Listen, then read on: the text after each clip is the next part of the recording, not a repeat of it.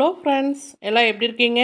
Welcome to Kovai Ammu சமையல். இன்றைக்கி நம்ம கிச்சன்லேங்க கிச்சன் டிப்ஸ் வீடியோ தான் பார்க்க போகிறோங்க ஸ்கிப் பண்ணாமல் பாருங்கள் ஃப்ரெண்ட்ஸ் அப்போ தான் நான் அடுத்தடுத்து என்னென்ன டிப்ஸ் சொல்கிறேன்னு உங்களுக்கு தெரியுங்க. இப்போ ஃபஸ்ட்டு டிப் பார்த்தீங்கன்னா நம்ம எல்லாத்து வீட்லேயும் வந்து அஞ்சு கிலோ வரைக்கும் அஞ்சு கிலோலேருந்து பத்து கிலோ வரைக்கும் வந்து கோதுமை மாவு வாங்கி ஸ்டோர் பண்ணி வைப்போங்க. சில சமயங்களில் பார்த்தீங்கன்னா கோதுமை மாவில் வந்து வண்டு புழு இந்த மாதிரியெல்லாம் வந்துருங்க.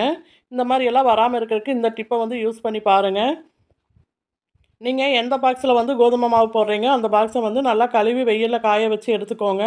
கொஞ்சம் கூட தண்ணி இருக்கக்கூடாதுங்க. பாருங்கள் இப்போ கோதுமை மாவு சேர்த்துட்டேங்க.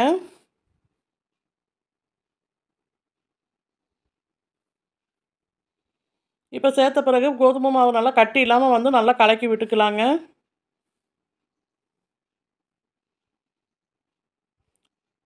பாருங்கள் இந்த மாதிரி வந்து ஒரு கரண்டி வச்சு நல்லா கலக்கி விட்டுக்கலாங்க.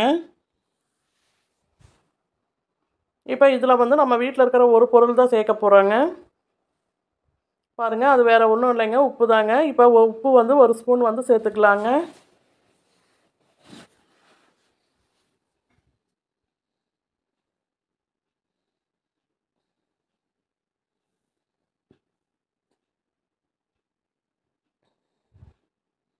இப்போ உப்பு சேர்த்துட்டு நல்லா வந்து கலக்கி விட்டுக்கலாங்க. மாவு பிசையும் போது எப்பயுமே ஞாபகம் வச்சுக்கோங்க. ஏற்கனவே வந்து நம்ம மாவில் உப்பு சேர்த்துருக்கோங்க. அதனால் ஞாபகம் வச்சு அதுக்கு தகுந்த மாதிரி நீங்கள் உப்பு சேர்த்துக்கோங்க.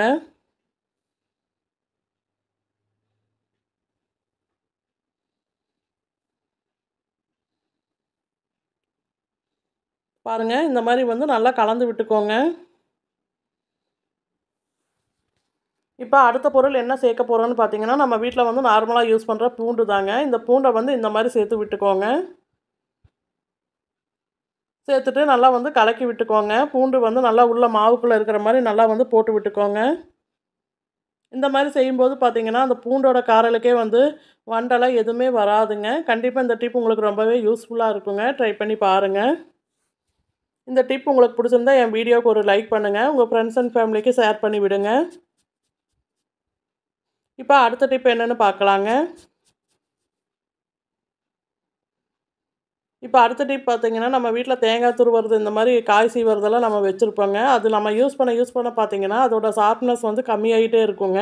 அந்த மாதிரி இருக்கிற சமயத்தில் இந்த மாதிரி பண்ணுங்க. அதுக்கு பாருங்கள் நம்ம வீட்டில் இஞ்சி பூண்டு இடிக்கிற கல் இடிக்கல் தான் எடுத்துருக்கேங்க. எடுத்துகிட்டு இந்த இடிக்கல்லை வந்து இந்த மாதிரி க நல்லா வந்து தேய்ச்சி கொடுங்க.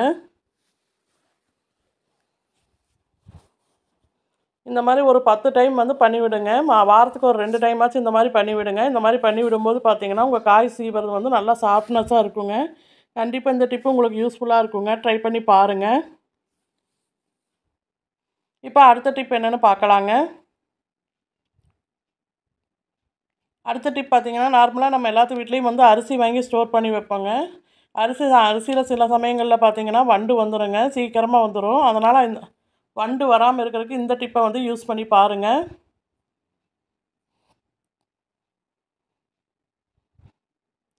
பாருங்கள் அதுக்கு வேறு ஒன்றும் இல்லைங்க. நம்ம வீட்டில் வேண்டாம்னு தூக்கி தோற போடுற இந்த தேங்காய் தொட்டி தான் எடுக்க போடாங்க இந்த தேங்காய் தொட்டியை வந்து அங்கங்கே சேர்த்து கொடுத்துருங்க. சின்ன சின்ன பீஸாக சேர்த்துட்டு நல்லா அரிசிக்குள்ளே வந்து இருக்கிற மாதிரி நல்லா உள்ளுக்குள்ளே தள்ளி விட்டுக்கோங்க. இந்த மாதிரி பண்ணும்போது பார்த்தீங்கன்னா உங்கள் அரிசியில் வண்டு புளி எதுவுமே வராதுங்க. கண்டிப்பாக இந்த டிப்பு உங்களுக்கு ரொம்பவே யூஸ்ஃபுல்லாக இருக்குங்க. ட்ரை பண்ணி பாருங்கள் இப்போ அடுத்த டிப்பு என்னென்னு பார்க்கலாங்க. அடுத்த டிப் பார்த்திங்கன்னா நார்மலாக நம்ம எல்லாத்து வீட்லேயும் வந்து விளக்கு யூஸ் பண்ணுவாங்க. விளக்கில் சில சமயங்களில் பார்த்தீங்கன்னா பாருங்கள் இந்த மாதிரி கறி பிடிச்ச மாதிரி ஆயிருங்க. அதே சமயத்தில் பாசம் பிடிச்ச மாதிரியெல்லாம் இருக்குங்க. நான் சொல்கிற இந்த மெத்தடில் வந்து நீங்கள் பண்ணி பாருங்கள் உங்களுக்கு இந்த விளக்கில் வந்து கறியும் பிடிக்காது பாசமும் பிடிக்காதுங்க. ஃபஸ்ட்டு ஒரு பனியன் கிளாத் வச்சு இந்த க விளக்கை நல்லா வந்து கழுவிக்கலாங்க. பாருங்கள் இந்த பனியன் கிளாத்தில் வந்து நல்லா இந்த விளக்கை நல்லா தொடச்சி எடுத்துக்கலாங்க. இப்போ நம்ம வீட்டில் வந்து தினமும் யூஸ் பண்ணிவிட்டு புளி எடுத்து தூர போடுவோம் இல்லைங்க. அந்த புளியை தான் நான் எடுத்து வச்சுருக்கேங்க. எப்பயுமே இந்த மாதிரி புளி எடுத்து நான் விளக்க விளக்கு கழுவுறதுக்கு வந்து யூஸ் பண்ணிக்குவேங்க. இப்போ அந்த அந்த புளி தண்ணியிலையே வந்து கொஞ்சமாக வந்து உப்பு சேர்த்துக்கலாங்க.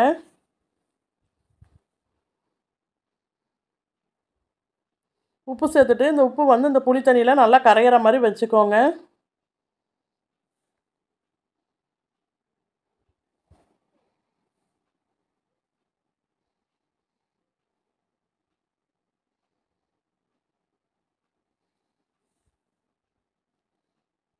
பாருங்கள் இப்போ நம்ம எடுத்து வச்சுருக்கிற இந்த புளி தண்ணி பேஸ்ட்டை வந்து நம்ம இப்போ விளக்கு மேலே போட்டு விடலாங்க. உங்களுக்கு கை வலிக்கவே வலிக்காதுங்க. ஜஸ்ட் அப்ளை பண்ணி விட்டாவே போதுங்க. பண்ணி விடும்போதே வந்து உங்களுக்கு ஒரு நல்ல டிஃப்ரெண்ட் தெரியுங்க விளக்கில்.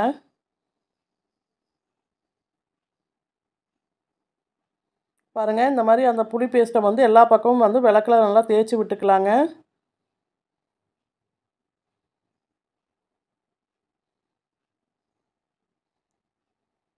இந்த மாதிரி தேய்ச்சிட்டு ஒரு பத்து நிமிஷம் அப்படியே விட்டுருங்க. உங்கள் விளக்கு ரொம்ப நாளாக வந்து நீங்கள் கழுவலை. ரொம்பவே வந்து கறி பிடிச்ச மாதிரி இருக்குன்னா நீங்கள் வந்து இதில் வந்து ஒரு ஸ்க்ரப்பர் போட்டு கூட தேய்ச்சிக்கலாங்க.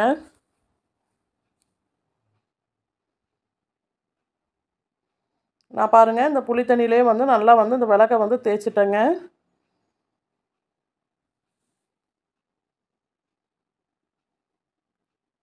இப்போ ஒரு பத்து நிமிஷம் இது அப்படியே இருக்கட்டுங்க நான் வாஷ் வாஷ் பண்ணும்போது உங்கள்கிட்ட காட்டுறேன் பாருங்கள் இப்போ பாருங்கள் ஒரு பத்து நிமிஷம் கழிச்சு ஆச்சுங்க. இப்போ கழுவுறேன் பாருங்கள் கழுவும் போதே உங்களுக்கு வந்து ஒரு நல்ல டிஃப்ரெண்ட் தெரியுங்க.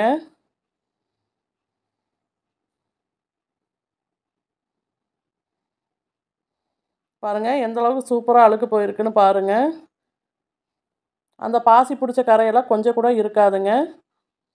இந்த டிப் உங்களுக்கு ரொம்பவே யூஸ்ஃபுல்லாக இருக்குங்க. ட்ரை பண்ணி பாருங்கள் இப்போ பாருங்கள் நல்லா வாஷ் பண்ணி எடுத்தாச்சுங்க. இப்போ வந்து நம்ம எப்பயும் போல் காமாட்சி விளக்குக்கு பொட்டெல்லாம் வச்சுக்கலாங்க.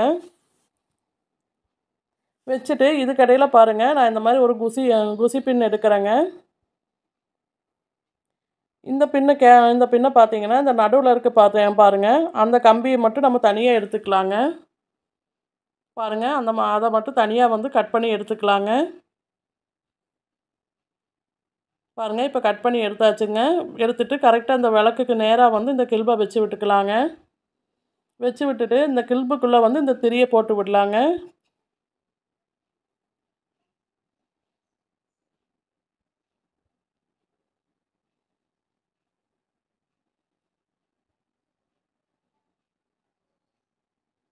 பாருங்கள் இந்த மாதிரி வந்து நல்லா போட்டு விட்டுக்கோங்க.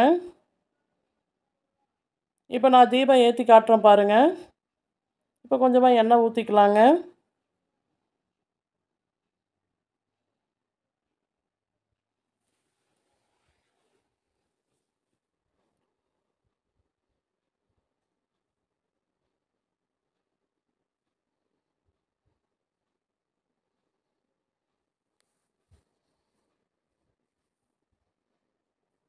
பாருங்கள் இந்த மாதிரி மெத்தடில் வந்து நீங்கள் தீபம் ஏற்றும் போது கொஞ்சம் கூட கீழே கறியும் பிடிக்காதுங்க. அதே மாதிரி பாசமும் பிடிக்காதுங்க. கண்டிப்பாக இந்த டிப் உங்களுக்கு ரொம்பவே யூஸ்ஃபுல்லாக இருக்குங்க. ட்ரை பண்ணி பாருங்கள் இந்த டிப் உங்களுக்கு பிடிச்சிருந்தா லைக் பண்ணுங்கள் ஷேர் பண்ணுங்கள் கமெண்ட் பண்ணுங்கள் கோவை அம்மு சமையலை சப்ஸ்கிரைப் பண்ணுங்கள் பக்கத்தில் இருக்கிற பெல் பட்டனில் ஆளுன்னு கிளிக் பண்ணுங்கள் தொடர்ந்து சப்போர்ட் பண்ணிட்டு வர எல்லாத்துக்கும் ரொம்ப ரொம்ப நன்றிங்க. Thank you all